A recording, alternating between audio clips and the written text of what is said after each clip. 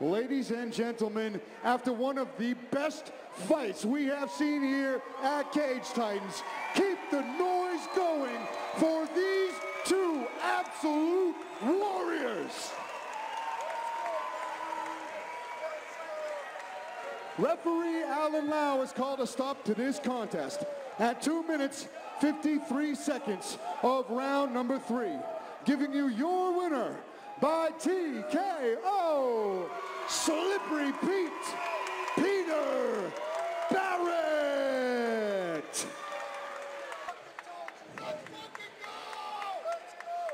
I'm here with your winner, Slippery Pete Barrett. My friend, 15th pro win. That is easily one of the greatest fights that's ever graced this cage here. What is what's going through your head in some of those exchanges, wild exchanges that were happening? You know, I was just having a good old time, man.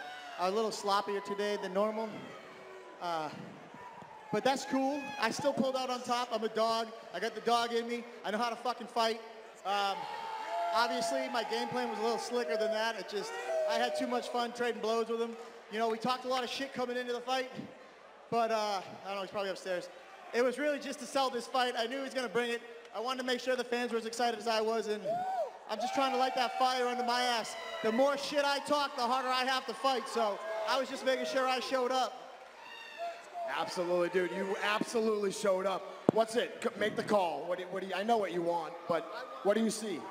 The fucking UFC, baby. Send me back. Send me back. Send me back. Let's call Dana. I know he's in London, but fuck around. Let's go. Find out. Dana White knows he'll be getting violence from Slippery Pete. Keep it going for your winner, Slippery Pete, but one more. Hey, real quick. I know most of you guys love me and a good portion of y'all hate me too. But real quick, I'm having a son in August. The second generation of highly calculated violence is in the fucking building tonight. And, and I got engaged, so round of applause for my fiance.